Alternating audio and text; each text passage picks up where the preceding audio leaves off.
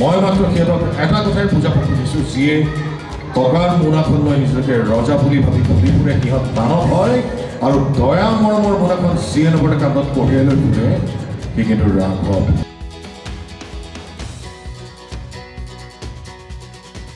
সাতাইছ অক্টোবৰ যিহেতু ৰাঘৱ আহি আছে অসমৰ বিভিন্ন চিত্ৰগৃহত সকলোৱে যাওক ছবিখন চাওক। চাৰি বছৰৰ পিছত কৰিছোঁ। ৰত্নাকৰৰ এটা পৰ্যায় যোৱাৰ পিছত দায়িত্ব চবৰে বাঢ়ে। অকল মোৰ বুলি নহয় গোটেই টীমটোৰ বাঢ়ে।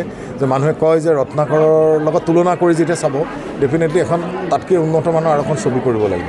আৰু মই এটা কথাই কওঁ ছবিখনত মোৰ বত্ৰিছ বছৰ যেতিয়া ছবি ইণ্ডাষ্ট্ৰীৰ লগত জড়িত ৰত্নাকৰৰ যিজন পৰিচালক হিচাপে মই এটা কথা ক'ব পাৰোঁ যে অকল মই বুলি নহয় গোটেই টীমটোৱে এই ছবিখন এটা উন্নত মানৰ ৰত্নাকৰতকৈ অলপ বেটাৰ কাম কৰিব কৰিছে আৰু দৰ্শকে চাই ভাল পাব।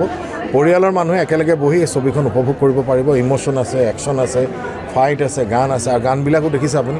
এইবাৰ প্ৰথমবাৰৰ কাৰণে কিছুমান আমি বাহিৰত শ্বুটিং কৰিছোঁ বা হিউজ হিউজ বিশ্বকৰ্মাটো চালে। দীপক দে এটা কথাই ক'ব লাগিব যে দুশ আঢ়ৈশত ডান্সাৰ্ছ লৈ পেলাই গানটো কৰিছে। আৰু মৃদুলা বৰুৱাক আমি দুটা ষ্টেজ দেখুৱাইছোঁ।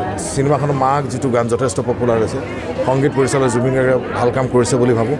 এতিয়া সকলোৱে ভাল কাম কৰিছে খালি দৰ্শক আহক সাতাইছ অক্টোবৰ ছবিখন চাওক আৰু ৰাঘৱ পৰিয়ালটোক অনুপ্ৰাণিত। মোৰ এখন প্ৰথমখন চিনেমা। ইয়াৰ আগতে মই গান কৰি আছিলোঁ মিউজিক ভিডিঅ' কৰোঁ। মই এজন নৃত্যশিল্পী। অভিনেত্ৰী হ'ম বুলি ভবাও নাছিলোঁ কিন্তু ইমান ধুনীয়া এটা সুযোগ আৰু সুবিধা।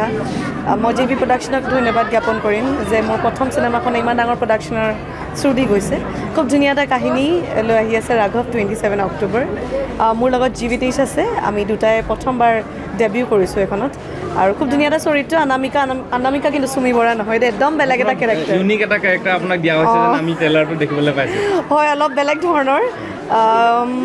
বহুত বেছি এটা ক'ব নোৱাৰোঁ কেৰেক্টাৰটোৰ বিষয়ে কিন্তু সঁচাকৈ চাই ভাল পাব। তাৰমানে কাহিনীটো আৰম্ভ হৈছে অনামিকাৰ জোৰেদি আৰু অনামিকাৰ লগতে কাহিনীটো শেষ হৈছে।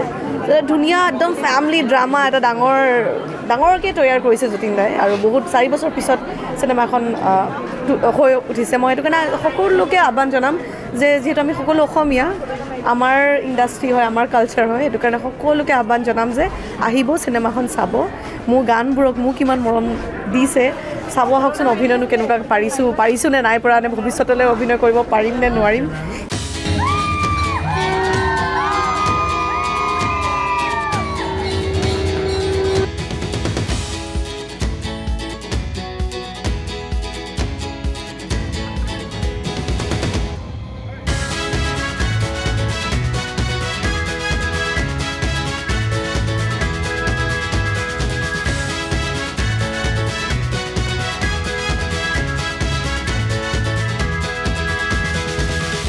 মই মাত্ৰ সিহঁতক এটা কথাই বুজাব খুজিছোঁ যিয়ে ককাৰ মোনাখন লৈ নিজকে ৰজা বুলি ভাবি ঘূৰি ফুৰে সিহঁত দানৱ হয় আৰু দয়া মৰমৰ মোনাখন যিয়ে নপৰে কান্ধত কঢ়িয়াই লৈ ফুৰে সি কিন্তু ৰাঘৱ।